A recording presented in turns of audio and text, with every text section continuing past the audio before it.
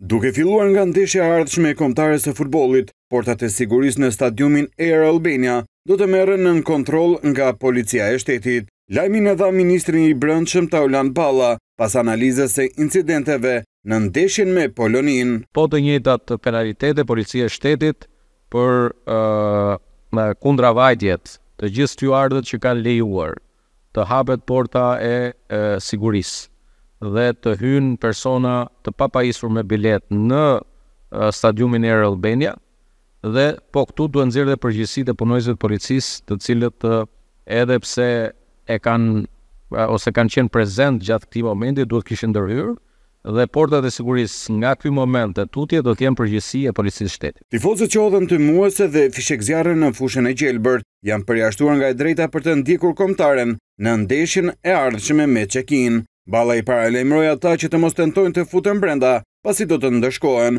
ndërkohë paralajmëroi edhe ata që tentojnë të falsifikojnë biletat e ndeshjes. Gjatë ndeshjes me Poloninë ka pasur dymbëdhjetë mijë tentativa për bileta falso dhe çdo qytetar duhet të jetë duhet të ta dijë dhe ta ngulisë mirë në në mendje që disponimi i një dokumenti të falsifikuar është vepër penale. Në momentin që një qytetar detektohet me biletë të falsifikuar, duhet bëhet shoqërimi i tij në Drejtorinë Vendore të Policisë dhe fillimi i një hetimi penal. Në takimin e përbashkët me ministrin e Brendshëm, presidenti i Federatës Shqiptare të Futbollit, Armando Duka, tha se FSHF është duke punuar që të marrë sistemin e UEFA-s që shmang hyrjen e tifozëve me bileta false.